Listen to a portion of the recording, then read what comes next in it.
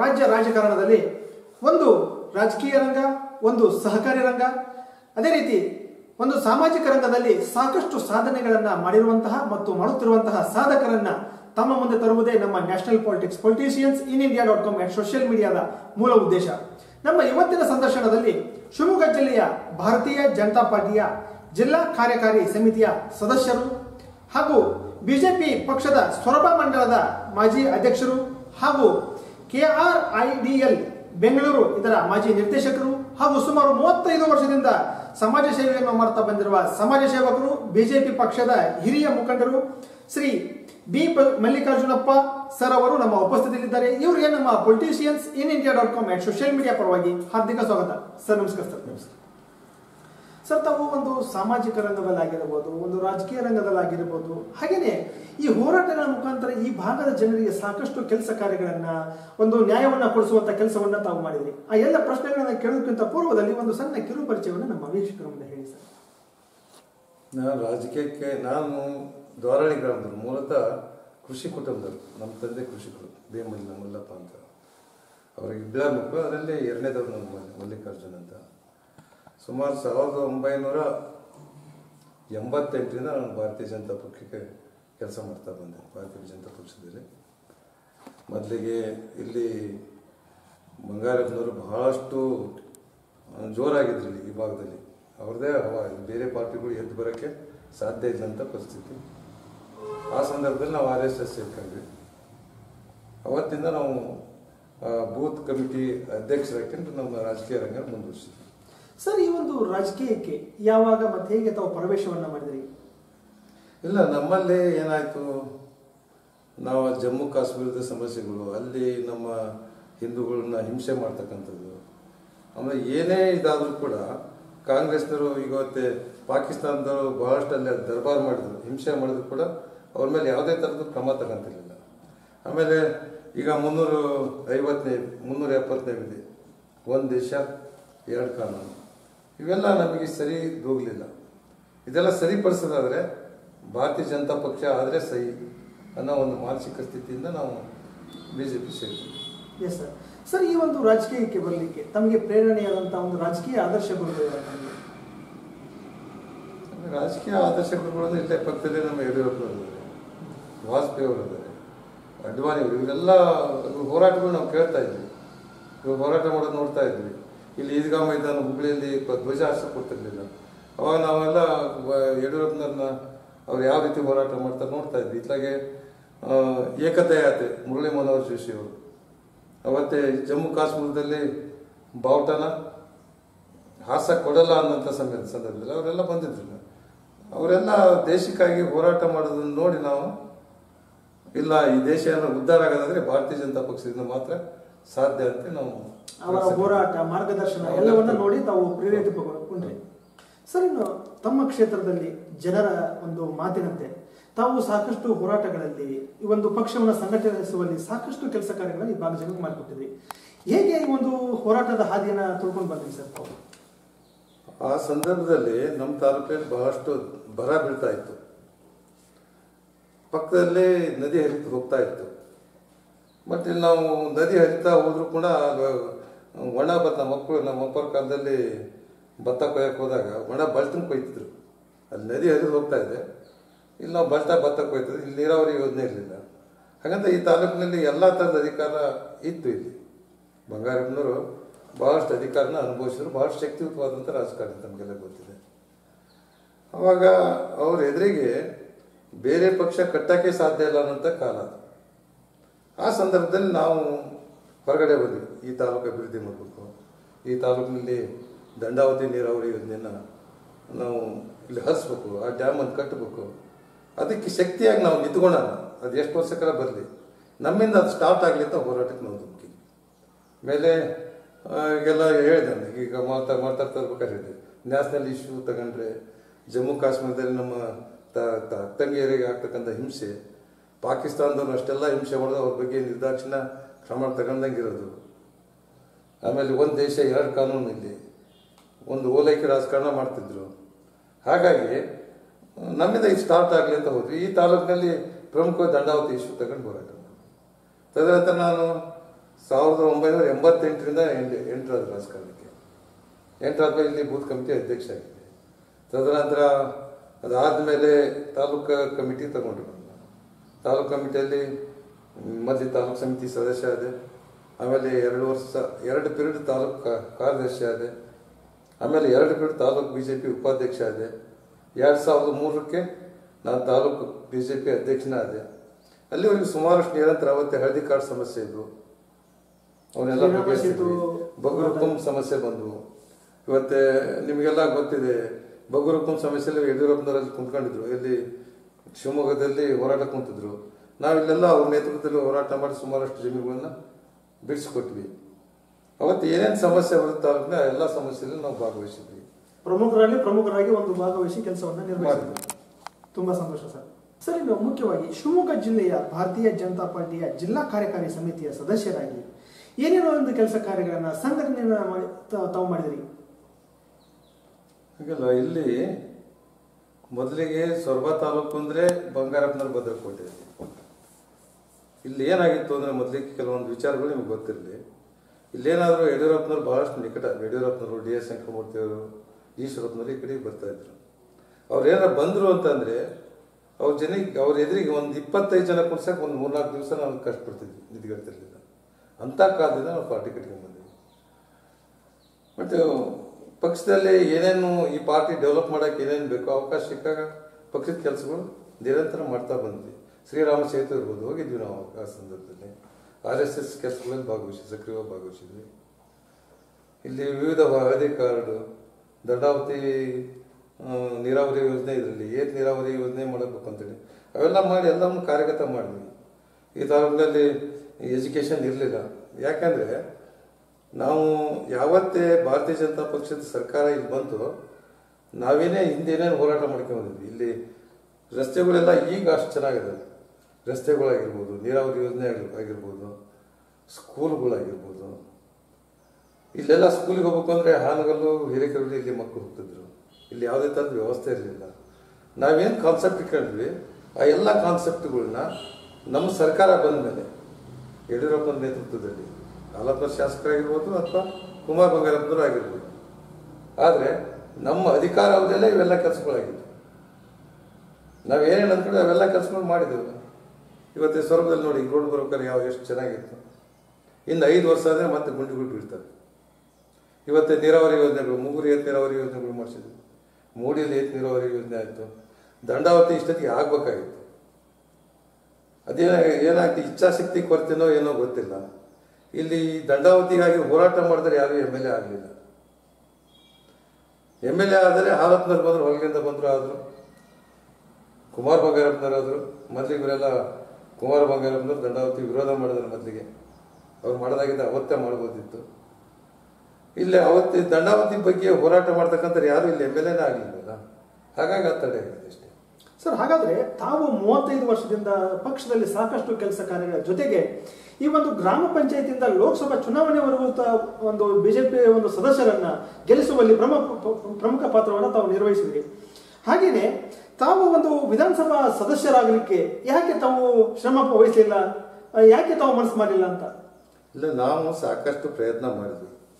ಇಲ್ಲಿ ಮೊದಲಿಗೆ ಪಕ್ಷನೇ ಜೀವ ಜೀವನದಿಂದ ಅಲ್ಲಿ ಆ ಮಟ್ಟಕ್ಕೆ ಎಬ್ಸಿದ್ವಿ ಯಾವತ್ತೇ ಗೆಲ್ಲೋ ಅವಕಾಶ ಇತ್ತು. ಎರಡು ಸಾವಿರದ ಯಡಿಯೂರಪ್ಪನವರು ಯಾವಾಗ ಅಧಿಕಾರದಿಂದ ವಂಚಿತ ಆದರು, ಕುಮಾರಸ್ವಾಮಿ ಅಧಿಕಾರ ಕೊಡಲಿಲ್ಲ, ಎರಡು ಸಾವಿರದ ಎಂಟರಲ್ಲಿ ಇಲ್ಲೊಬ್ಬರು ಶಾಸಕರಾಗೋದಿತ್ತು ಅವಾಗ ನಮ್ಗೆ ಸಾಕಷ್ಟು ಅರ್ಹತೆ ಇತ್ತು. ಯಾವತ್ತೇ ಆ ಸಂದರ್ಭದಲ್ಲಿ ನಮ್ಮ ಮನೆ ಜಿಲ್ಲಾ ಪಂಚಾಯತ್ ಮೆಂಬರ್ ಆಗಿದ್ದರು ನಾನು ತಾಲೂಕು ಬಿ ಜೆ ಪಿ ಅಧ್ಯಕ್ಷ ಆಗಿ ಕೂಡ ಕೆಲಸ ಮಾಡಿದ್ವಿ. ಆದರೆ ಪಕ್ಷದ ತೀರ್ಮಾನ ಅದು. ಮೇಲಿಂದ ಹಾಲಪ್ಪನಲ್ಲಿ ಟಿಕೆಟ್ ಕೊಟ್ಬಿಟ್ರು. ನಾವು ಮೊದಲಿಗೆ ವಿರೋಧ ಮಾಡಿದ್ವಿ. ಕೊನೆಗೆ ಪಕ್ಷದ ತೀರ್ಮಾನ ಅನಿವಾರ್ಯ ನಾವು ಒಪ್ಕೋಬೇಕಂತ ಒಪ್ಕೊಂಡ್ವಿ ಇನ್ನು ಪಕ್ಷ ಕಾಲದಲ್ಲಿ ಬಂದು ಮಂತ್ರಿಗಳಾದ್ಮೇಲೆ ನಾವು ಕೇಳೋದೇನಿದೆ? ಎರಡು ಸಾವಿರದ ಹನ್ನೆರಡರಲ್ಲಿ ಅವರೇ ನಿಲ್ಬೇಕಾಯ್ತು ಒಬ್ಬ ಮಂತ್ರಿಗಳು ಇಟ್ಕೊಂಡು ನಾವು ಎಂ ಎಲ್ ಎ ಹಾಕುವಂತ ಕೇಳಕ್ಕೆ ಬರೋದಿಲ್ಲ. ಇನ್ನು ಎರಡು ಸಾವಿರದ ಹದಿನೆಂಟರಲ್ಲಿ ಅವಕಾಶ ಇತ್ತು. ಮತ್ತು ಕುಮಾರ್ ಬಂಗಾರಪ್ಪನ ತಗೊಂಡು ನಿಲ್ಲಿಸಿದ್ರು. ನಾವು ಸಾಕಷ್ಟು ಅವತ್ತು ಕೂಡ ಬೇಡಿಕೆ ಇಟ್ವಿ. ಆದರೆ ಹಿರಿಯರು ಯಾವ ರೀತಿ ತೀರ್ಮಾನ ಮಾಡಿದ್ರೆ ಏನೋ ಗೊತ್ತಿಲ್ಲ. ಮತ್ತೆ ಅವರಿಗೆ ಟಿಕೆಟ್ ಕೊಟ್ಟರು. ಅವ್ರ ಜೊತೆ ಕೆಲಸ ಮಾಡಿದ್ರು ಮೊನ್ನೆ ದಿವಸ ನೀನು ಮೊನ್ನೆ ಚುನಾವಣೆ ಏನಾಯಿತು? ಆ ಚುನಾವಣೆ ಸಾಕಷ್ಟು ವಿರೋಧ ಮಾಡಿ ಹ್ಮ್, ಇವ್ರು ಆದರೆ ಆಗೋದಿಲ್ಲ ಅನ್ನೋಲ್ಲಿವರೆಗೂ ಹೋರಾಟ ಮಾಡಿದ್ರು. ಮತ್ತು ಕೊನೆಗೂ ಮತ್ತು ಪಕ್ಷ ಅದೇ ತೀರ್ಮಾನ ಮಾಡ್ತು. ಅನಿವಾರ್ಯ ಸುಮ್ಮನಿರ್ಬೇಕಾಯ್ತು ಹೀಗಾಗಿ ಪಾರ್ಟಿ ಟಿಕೆಟ್ ಕೊಡಲಿದ್ದಕ್ಕೆ ನಿಂತೆಲ್ಲ ಬಿಟ್ಟರೆ ಬಟ್ ನಾವು ಅವಾಗಿಂದ ಸತತ ಪ್ರಯತ್ನ ಮಾಡೇ ಮಾಡಿದ್ವಿ ಆದರೆ ಆಗಿಲ್ಲ. ಎಸ್ ಸರ್ ಸರ್ ಎರಡು ಸಾವಿರದ ಇಸ್ವಿಯಿಂದ ಎರಡು ಸಾವಿರದ ಐದರವರೆಗೆ ತಮ್ಮ ಶ್ರೀಮತಿಯವರು ಈ ಒಂದು ಜಿಲ್ಲಾ ಪಂಚಾಯತಿಯ ಸದಸ್ಯರಾಗಿ, ಅಧ್ಯಕ್ಷರಾಗಿ ಸಾಕಷ್ಟು ಕೆಲಸ ಕಾರ್ಯಗಳನ್ನು ಈ ಭಾಗದಲ್ಲಿ ತಾವು ಅವರು ಮಾಡಿದ್ದಾರೆ. ಏನೇನು ಕೆಲಸ ಕಾರ್ಯಗಳು ಈ ಒಂದು ಭಾಗದಲ್ಲಿ ಆಗಿದೆ ಸರ್? ನಮ್ಮ ಶ್ರೀಮತಿ ನಮ್ಮ, ನಾನು ಮದುವೆ ಆಗಿದ್ದು ಸಾವಿರದ ಒಂಬೈನೂರ ತೊಂಬತ್ತೆಂಟರಲ್ಲಿ ನಮ್ಮ ಶ್ರೀಮತಿಯವರು ಅಂದರೆ ಗೀತಾ ಮಲ್ಲಿಕಾರ್ಜುನ ಅವರ ಹೆಸರು. ಆ ಆ ಸಂದರ್ಭದಲ್ಲಿ ಎನ್ ಡಿ ಎ ಮಾಡ್ಕೊಂಡಾಗ ಆವಾಗ ಭಾರತೀಯ ಜನತಾ ಪಕ್ಷದ ಪರವಾಗಿ ನಮ್ಮ ಮನೆಯವರಿಗೆ ಟಿಕೆಟ್ ಕೊಟ್ಟರು ಎರಡು ಸಾವಿರದ ಇಸ್ವಿ ಪ್ರಪ್ರಥಮವಾಗಿ ಭಾರತೀಯ ಜನತಾ ಪಕ್ಷದಿಂದ ಇಲ್ಲಿ ಸದಸ್ಯ ಆಯ್ಕೆ ಆಗಿದ್ದು ಅಂದರೆ ಅವರೇ ಸ್ಟಾರ್ಟಿಂಗ್ ಬಿ ಜೆ ಪಿ ಖಾತೆ ಓಪನ್ ಮಾಡಿದ್ರು. ಎರಡು ಸಾವಿರದ ಎರಡು ಸಾವಿರದ ಐದರವರೆಗೂ ಸಹಜವಾಗಿ ಅವರು ಅಧಿಕಾರದಾಗದಾರೆ ಅಂದಾಗ ನಾವು ಯಾಕೆಂದ್ರೆ ನಾನು ರಾಜಕಾರಣ ಇದ್ದಾಗ ಅವ್ರು ಬಂದು ಪ್ರವೇಶ ಮಾಡಿದ್ರು ಇಲ್ಲಿ ಏರಿಯಾ ಭಾಳಷ್ಟು ಅವರಿಗೆ ಗೊತ್ತಿರಲಿಲ್ಲ ಅವರು ಆ ಏರಿಯಾದಲ್ಲಿರ್ತಕ್ಕಂಥ ಕೆಲಸ ಕಾರ್ಯಗಳ ಬಗ್ಗೆ ಎಲ್ಲ ನಾವು ಮಾಹಿತಿ ಕೊಡ್ತಾ ಇದ್ದೀವಿ ಮಾಹಿತಿ ಕೊಟ್ಟಾಗ ಏನೇನು ಕೆಲಸ ಆಗಬೇಕು ಈಗ ಒಂದು ಉದಾಹರಣೆಗೆ ಏನು ಹೋಗ್ಬೇಕು ಅಂದರೆ ಹತ್ತು ಸಾವಿರ ನಾವು ಖರ್ಚು ಮಾಡದಿದ್ರೆ ನಮ್ಮ ವಾದ ಏನು ಅಂದರೆ ನಮಗೆ ನಮಗೆ ಯಡಿಯೂರಪ್ಪನಲ್ಲಿ ಭಾಳ ಇದು. ಅವರ ಆದರ್ಶಗಳು, ಅವ್ರ ಕೆಲಸ ಕಾರ್ಯ ನಾವು ಗಮನಿಸ್ತಿದ್ವಿ ಹತ್ತರಿಂದ. ಯಾವತ್ತು ಸೆಂಕ್ಷನ್ ಆದಾಗ ಯಾವುದೂ ಮಾಡ್ತಿರಲಿಲ್ಲ. ನಾವು ಮುಂದೆ ಏನಾದರೂ ಒಂದಿಷ್ಟು ಅಮೌಂಟ್ ಬರುತ್ತೆ ಅನ್ನೋದು ನಮ್ಗೆ ಗೊತ್ತಿದ್ದಾಗ, ಜನರಿಗೆ ಅಂದರೆ ಮತ್ತೆ ಪಿರಿಯಡ್ ಬರೋದ್ರಾಗೆ ಎಷ್ಟು ಅಮೌಂಟ್ ಬರ್ಬೋದು ಅನ್ನೋ ನಿರೀಕ್ಷೆ ಇಟ್ಕೊಂಡು ಜನ ಎಲ್ಲ ಟೂರ್ ಹಾಕಿದಾಗ, ಅವರು ನಾವು ಒಟ್ಟಿಗೆ ಟೂರ್ ಹಾಕ್ತೀವಿ ಯಾವ ಊರಲ್ಲಿ ಏನೇನು ಕೆಲಸ ಅದ ಇಷ್ಟು ಲಿಸ್ಟ್ ಮಾಡ್ಕೊತಿದ್ವಿ.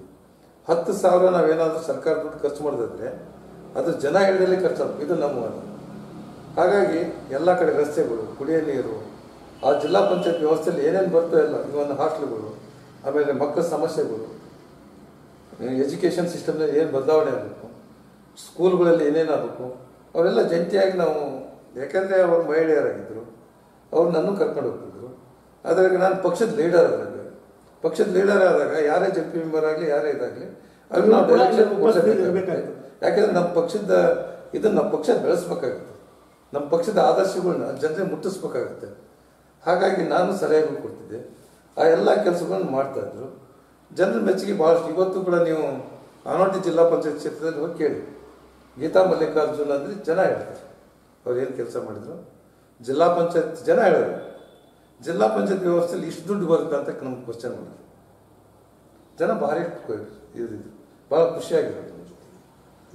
ಎರಡು ಸಾವಿರದ ಎರಡು ಸಾವಿರದ ಐದು.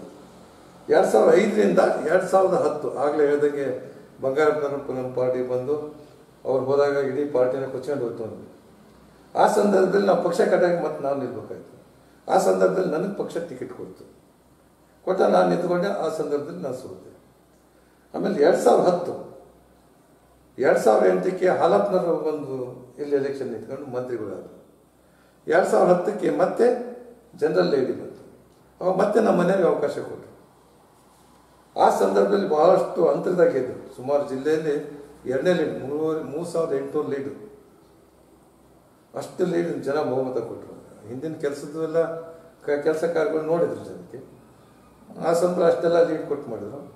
ಎರಡು ಸಾವಿರದ ಹತ್ತರಿಂದ ಅವರು ಜಿಲ್ಲಾ ಪಂಚಾಯತ್ ಸ್ಥಾಯಿ ಸಮಿತಿ ಅಧ್ಯಕ್ಷರು ಮಾಡಿದರು. ಹನ್ನೆರಡರಿಂದ ಜಿಲ್ಲಾ ಪಂಚಾಯತ್ ಅಧ್ಯಕ್ಷರು ಹೇಗೇನು ಅದೇ ಇಲ್ಲೇನಾಗೈತೆ ಅವಾಗ? ಶಾಸಕರಿರಲಿಲ್ಲ ಶಾಸಕರು ಮಧು ಬಂಗಾರಪ್ಪನಾಗಿದ್ದರು ಇಡೀ ತಾಲೂಕಿನಲ್ಲಿ ನಾವು ಅಡ್ಡಾಡಿ ಶಾಸಕ ಸ್ಥಾನ ತುಂಬಬೇಕಾಗಿತ್ತು. ಹಾಲಪ್ಪನವರು ಕೂಡ ಆಗಾಗ ಬಂದು ನಮ್ಮ ಮಾರ್ಗದರ್ಶನ ಮಾಡ್ತಿದ್ರು. ಎಲ್ಲ ಕಡೆ ರೋಡ್ಸು ನಮ್ಮ ಜಿಲ್ಲಾ ಪಂಚಾಯತ್ ವ್ಯವಸ್ಥೆಯಲ್ಲಿ ಏನೇನು ಬರ್ತವೆ, ಆ ಎಲ್ಲ ಕೆಲಸಗಳನ್ನು ಹಠಾತ್ ಕೆಲಸ ಮಾಡಿಸ್ಕೊಡ್ತಿದ್ವಿ ಇವತ್ತು ನಮ್ಮ ರಾಜಕಾರಣದಲ್ಲಿ ಎಲ್ಲೂ ಕೂಡ ರಾಜಿ ವಿಚಾರ ಇಲ್ಲ. ಜನ ಏನು ಹೇಳ್ತಾರೆ, ಅದೇ ಯಾವ ನಮ್ಮ ನಾವು ಗೆಲ್ಲವರಿಗೂ ಪಕ್ಷ ಅಂತಿದ್ವಿ.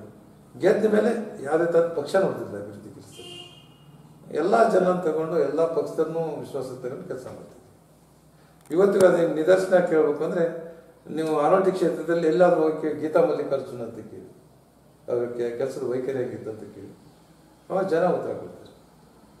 ಎಸ್ ಸರ್ ತುಂಬಾ ಸಂತೋಷ ಸರ್. ಸರ್, ಇನ್ನು ಎರಡು ಸಾವಿರದ ಇಪ್ಪತ್ನಾಲ್ಕರ ಲೋಕಸಭಾ ಚುನಾವಣೆ ನಮ್ಮ ಮುಂದೆ ಇದೆ.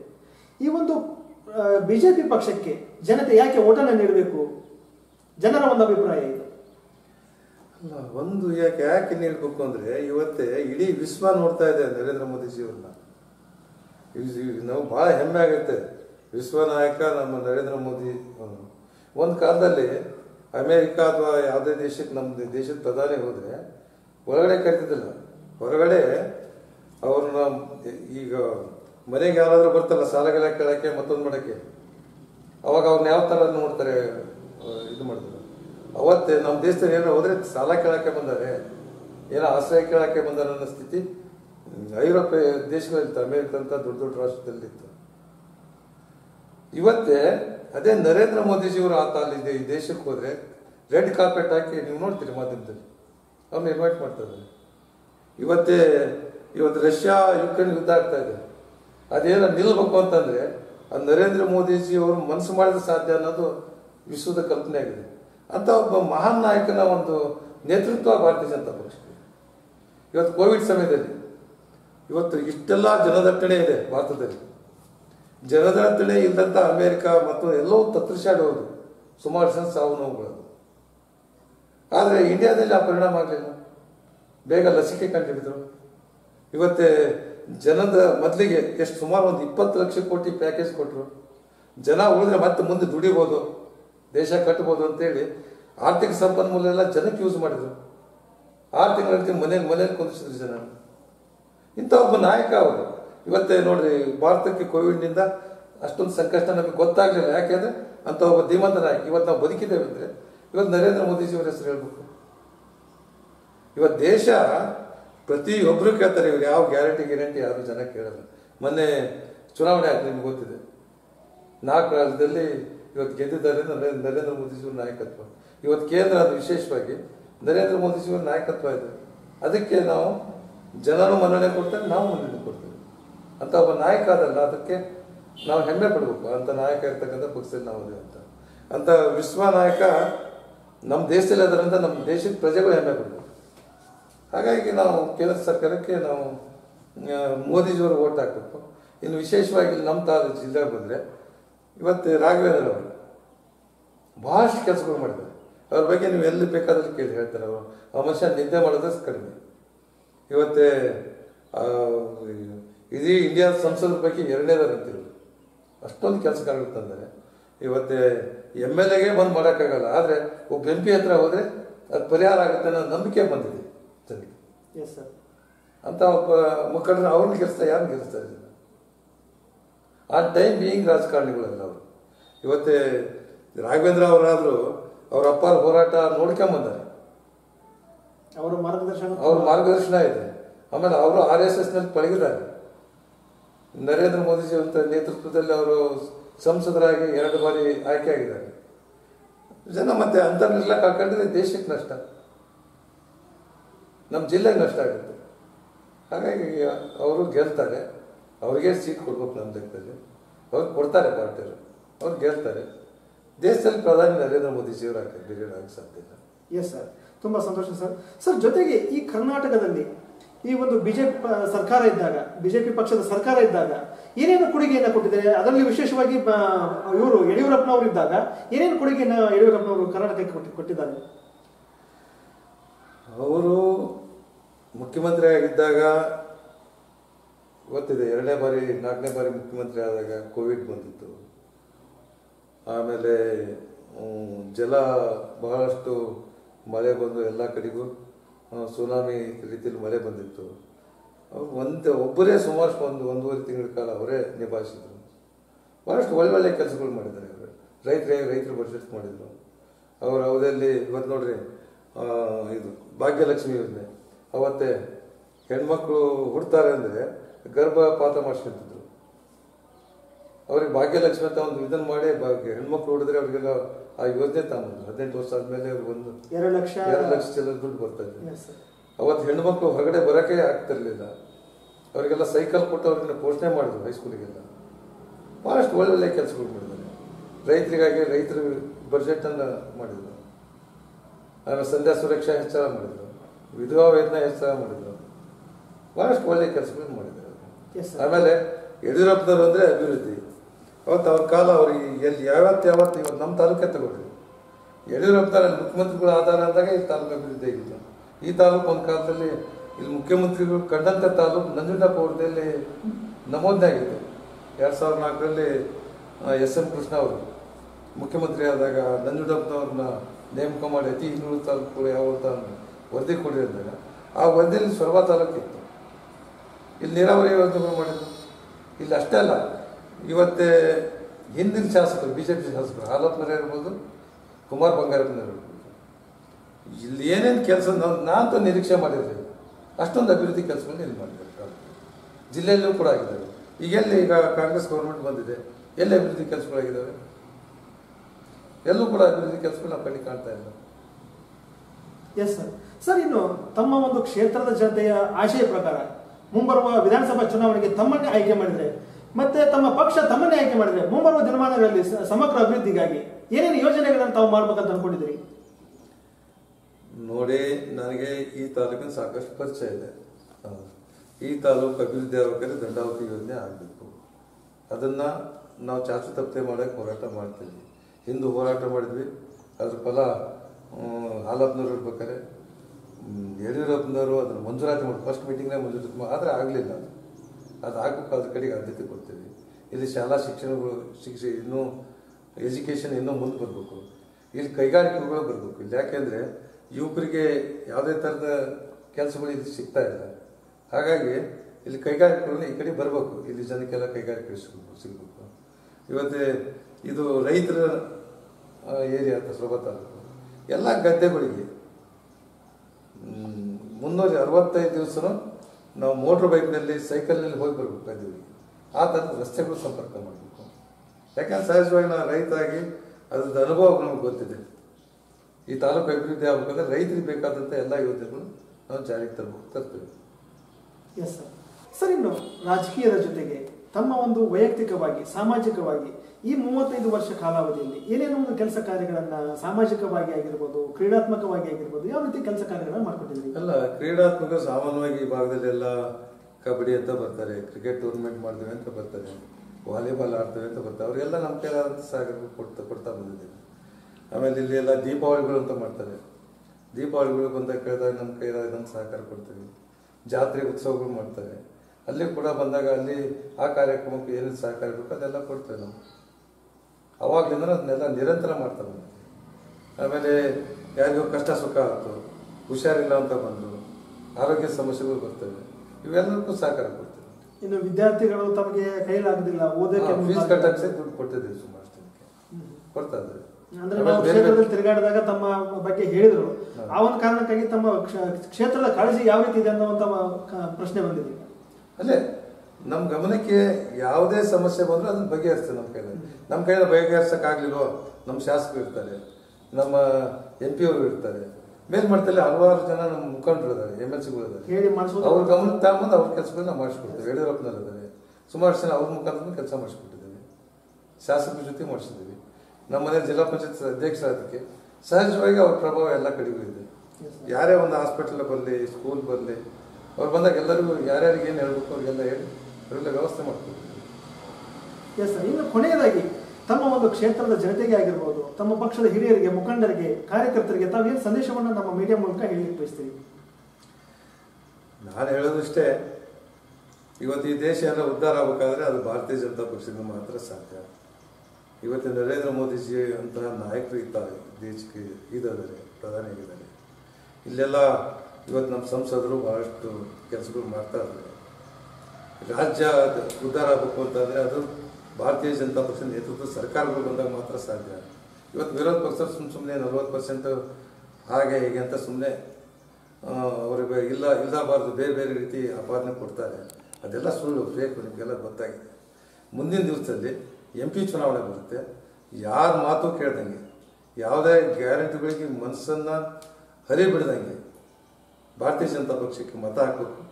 ಅದು ಹಾಕೋದ್ರ ಮುಖಾಂತರ ಭಾರತದ ಎಲ್ಲ ನಮ್ಮ ರಾಜ್ಯದಿಂದ ವಿಶೇಷವಾಗಿ ಹೆಚ್ಚಿನ ಪಾರ್ಲಿಮೆಂಟ್ ಮೆಂಬರ್ಗಳು ಆಯ್ಕೆಯಾಗಿ ಹೋಗಬೇಕು. ಆ ರೀತಿ ನಮಗೆಲ್ಲ ಇವತ್ತೇ ಪಕ್ಕದ ಹಾವೇರಿ ಇದೆ ಆ ಕಡೆ ದಾವಣಗೆರೆ ಇದೆ ಎಲ್ಲ ಕಡೆ ನಿರಂತರ ಎಲ್ಲರಿಗೂ ಸಂಪರ್ಕ ಇದ್ದಿರ್ತಾ ಇರುತ್ತೆ. ಇಟ್ಲಕ್ಕೆ ಶಿರ್ಸಿ ಉತ್ತರ ಕನ್ನಡ ಇದೆ, ದಕ್ಷಿಣ ಕನ್ನಡ ಇದೆ. ಎಲ್ಲಿ ಹೋದರೂ ಕೂಡ ನಾವು ನರೇಂದ್ರ ಮೋದಿಜಿಯವರ ಬಗ್ಗೆ, ಅವರ ಆದರ್ಶಗಳ ಬಗ್ಗೆ ನಾವು ಹೇಳ್ತಾ, ಈ ದೇಶದ ಬಗ್ಗೆ ಕಾಳಜಿ ತೋರಿಸ್ತಾ, ಮುಂದಿನ ದಿವಸ ಪಾರ್ಲಿಮೆಂಟ್ ಚುನಾವಣೆಯಲ್ಲಿ ನರೇಂದ್ರ ಮೋದಿಜಿಯವರ ಕೈ ಬಲಪಡಿಸ್ಬೇಕು. ಅದು ಬಲಪಡಿಸೋದಾದ್ರೆ ಭಾರತೀಯ ಜನತಾ ಪಕ್ಷದ ಸಂಸದರನ್ನ ಹೆಚ್ಚಿನ ಸಂಖ್ಯೆಯಲ್ಲಿ ನಾವು ಗೆಲ್ಸಿ ಕಳಿಸ್ಬೇಕು. ಆ ದಿಕ್ಕಿನಲ್ಲಿ ನಮ್ಮ ಯುವಕರೆಲ್ಲ ಕೆಲಸ ಮಾಡಬೇಕು ಅಂತ ಕೇಳ್ತೀವಿ ತುಂಬ ಸಂತೋಷ. ಸರ್ ಜೊತೆಗೆ ತಮ್ಮ ಒಂದು ಕ್ಷೇತ್ರದ ಜನತೆ ತಮ್ಮನ್ನ ಮೂವತ್ತೈದು ವರ್ಷಗಳ ಕಾಲ ಇಲ್ಲಿವರೆಗೂ ತಂದು ನಿಲ್ಲಿಸಿದ್ದಾರೆ ಮುಂಬರುವ ದಿನಮಾನಗಳಲ್ಲಿ ಅವ್ರಿಗೂ ಕೂಡ ಒಂದು ಯಾವ ರೀತಿ ಸಂದೇಶವನ್ನು ಹೇಳಲಿಕ್ಕೆ ಬಯಸ್ತೀರಿ? ವಿಶೇಷವಾಗಿ ನಾವು ರಾಜಕೀಯದಲ್ಲಿ ಇಷ್ಟೆಲ್ಲ ಮುಂದೆ ಬರೋಕ್ಕೆ ಕಾರಣ ನಮ್ಮ ಆಲೋಟಿ ಜಿಲ್ಲಾ ಪಂಚಾಯತ್ ಕ್ಷೇತ್ರದ ಚಂದ್ರು ಅವರು ಎರಡು ಬಾರಿಯಾಗಿ ನಮ್ಮ ಮನೆಯವ್ರನ್ನ, ಶ್ರೀಮತಿ ಗೀತಾ ಮಲ್ಲಿಕಾರ್ಜುನ ಅವ್ರನ್ನ ಜಿಲ್ಲಾ ಪಂಚಾಯತ್ ಅಧ್ಯಕ್ಷ ಆಗಲಿವರು ಸದಸ್ಯರಾಗಿ ಅಧ್ಯಕ್ಷ ಆಗಲಿವರಿಗೂ ಆಶೀರ್ವಾದ ಮಾಡಿದ್ದಾರೆ. ಹಾಗಾಗಿ ಅವರಿಗೆ ನಾವು ಮೊದಲಿಗೆ ಚಿರಋಣಿಯಾಗಿ ಅವರಿಗೆ ನಮಸ್ಕಾರವನ್ನು ತಿಳಿಸ್ತೀನಿ. ಹಾಗೆ ನಮ್ಮ ತಾಲೂಕಿನ ಜನ ಎಲ್ಲ ರೀತಿಯಿಂದ ನಮಗೆ ಸಹಕಾರ ಕೊಡ್ತಾರೆ. ಮುಂದೆಯೂ ಕೂಡ ನಮಗೆ ಸಹಕಾರ ಕೊಡ್ತಾ ಈ ತಾಲೂಕಿನ ಅಭಿವೃದ್ಧಿ ಬಗ್ಗೆ ತಾವು ಸಹಕಾರ ಕೊಡಬೇಕು. ಅವಕಾಶ ಸಿಕ್ಕರೆ ಮುಂದಿನ ದಿವಸ ನಮ್ಮನ್ನೆಲ್ಲ ಬೆಂಬಲಿಸ್ಬೇಕು ಅಂತ ಹೇಳ್ತಾ ಅವರಿಗೆ ಹೃತ್ಪೂರ್ವಕವಾದಂಥ ಅಭಿನಂದನೆಗಳು ಧನ್ಯವಾದಗಳು ಸರ್ ತುಂಬ ಸಂತೋಷ ಸರ್. ಇಷ್ಟೊತ್ತು ನಮ್ಮ ಮತ್ತೆ ನಮ್ಮ ವೀಕ್ಷಕರ ಮುಂದೆ ತಮ್ಮ ಒಂದು ರಾಜಕೀಯದ ವಿಷಯಗಳನ್ನು ಸಾಮಾಜಿಕ ರಂಗದ ವಿಷಯಗಳನ್ನು ಹಂಚಿಕೊಂಡಿದ್ದಕ್ಕಾಗಿ ತುಂಬ ಧನ್ಯವಾದಗಳು. ನಮಸ್ಕಾರ ಸರ್. ತಾವು ವೀಕ್ಷಕರು ಇಷ್ಟೊತ್ತು ಮಾತನಾಡಿದಂತಹ ಶಿವಮೊಗ್ಗ ಜಿಲ್ಲೆಯ ಭಾರತೀಯ ಜನತಾ ಪಾರ್ಟಿಯ ಜಿಲ್ಲಾ ಕಾರ್ಯ ಜಿಲ್ಲಾ ಕಾರ್ಯಕಾರಿ ಸಮಿತಿಯ ಸದಸ್ಯರು ಹಾಗೂ ಬಿಜೆಪಿ ಪಕ್ಷದ ಹಿರಿಯ ಮುಖಂಡರು ಆಗಿರುವಂತಹ ಶ್ರೀ ಬಿ ಮಲ್ಲಿಕಾರ್ಜುನಪ್ಪ ಸರ್ ಅವರ ಮಾತುಗಳನ್ನು ಇವರ ಇನ್ನಷ್ಟು ಮಾಹಿತಿಗಾಗಿ ಲಾಗನ್ ಆಗಿ W W W dot India dot com social media Jai Hind, Jai Karnataka.